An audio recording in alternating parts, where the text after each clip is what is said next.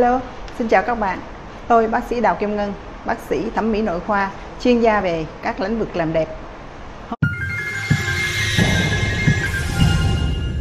Hôm nay tôi xin chia sẻ với các bạn 11 bí quyết giảm cân tại nhà hiệu quả an toàn kiểu phụ nữ Nhật.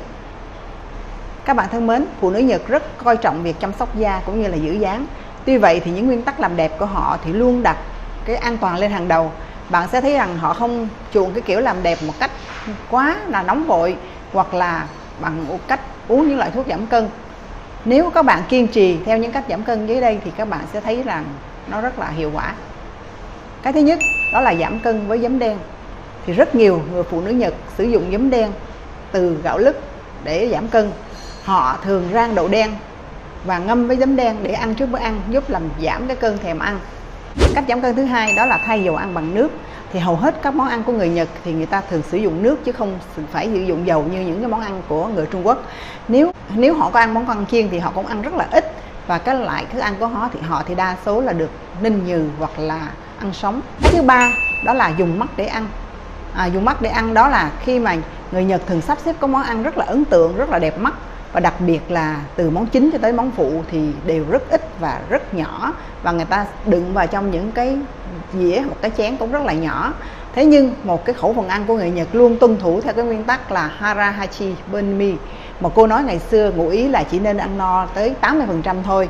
Ăn ít no một chút thì sẽ làm cho cân nặng của bạn chỉ giảm chứ không tăng. Thứ tư, đó là ăn nhiều rau xanh. Khẩu phần ăn của người phụ nữ Nhật thì thì luôn luôn kèm theo các loại rau tùy theo mùa. Ví dụ như là à, rong biển hành tây đậu nành cà tím cà chua à, củ cải trắng à, khoai lang.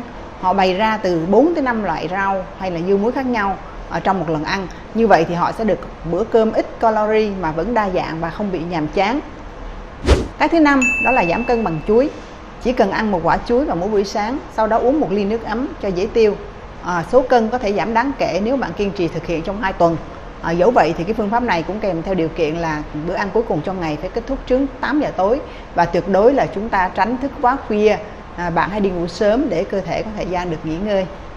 Cái thứ sáu đó là uống nhiều nước ấm. Mỗi ngày thì chúng ta nên uống một khoảng 800 ml nước ấm. Đó là lời khuyên các nhà chuyên gia dinh dưỡng Nhật Bản. À, hãy uống từ từ một ly nước ấm vào buổi sáng sớm. À, sau khi chúng ta ngủ dậy khoảng 10 phút à, bữa trưa và bữa tối thì cũng nên uống một ly nước ấm và chỉ nên uống thật là chậm rãi. Cách thứ bảy đó là dừng ăn để giảm cân. Cách làm này có tác dụng là thanh lọc các chất thải trong cơ thể giúp dạ dày và ruột à, hoạt động được tốt hơn làn da thì cũng sáng mịn hơn. Cái phương pháp này thì khá đơn giản nên là gần đây sẽ trở thành một cách cái giảm cân được yêu thích của phụ nữ Nhật. À, cách cách làm như sau là mỗi tuần sẽ có hai ngày không ăn bữa chính. Chỉ ăn các thức ăn như là cháo trắng nè sữa đậu nành hoặc là nước ép hoa quả để thay thế cho các loại thịt cá trong ba bữa bình thường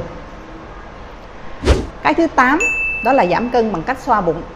À, khi dùng chúng ta dùng hai ngón tay cái và ngón trỏ. Chúng ta xoa cái phần da bụng mỗi 5 phút liên tục trong một tháng sẽ thấy là giảm rõ rệt. Cách thứ 9 đó là ăn nhiều cá. Thì gần như không có một cái món ăn nào không có lợi cho sức khỏe trong bữa ăn của người Nhật. Ví dụ như là cá như là tảo biển như đậu nành rau củ trái cây và trà xanh. À, cá thì cung cấp rất lớn cái lượng axit omega 3 vốn là cái axit béo không no à, không gây tích mỡ và nó có rất là có lợi cho sức khỏe và giúp cho họ kéo dài cái tuổi thọ. Cái thứ 10 đó là chăm chỉ làm việc nhà. Bên cạnh cái chế độ ăn dinh dưỡng khoa học thì người phụ nữ Nhật rất là chăm làm việc nhà. Ví dụ như người ta dọn dẹp nhà cửa chăm sóc con cái giúp tiêu hao năng lượng cân bằng lại nhu cầu calo của cơ thể không cho cái mỡ thừa nó có điều kiện tích tụ. À, các cái hoạt động làm việc nhà được ví như là một cách tập thể dục đặc biệt. Cách thứ 11 đó là uống nhiều trà xanh à, trà xanh là thức uống không bao giờ thiếu đối với người phụ nữ Nhật. Nếu họ không pha được trà xanh tươi thì họ sẽ uống cái thứ nước được pha từ bột trà xanh có tên gọi là matcha. À, trà xanh có tính chất là chống oxy hóa chắc chắn sẽ khiến cơ thể bạn được thanh lọc. Nó cũng giúp chống ung thư đốt năng lượng và ngăn ngừa lão hóa.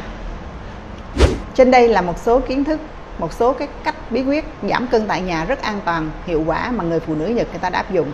Nếu các bạn thấy rằng cái video này của tôi à, có hữu ích cho các bạn hoặc cho một ai đó thì xin các bạn hãy share like à, và đăng ký kênh của tôi kênh youtube bác sĩ Đào Kim Ngân các bạn nhé. Cảm ơn các bạn đã lắng nghe. Xin chào và hẹn gặp lại.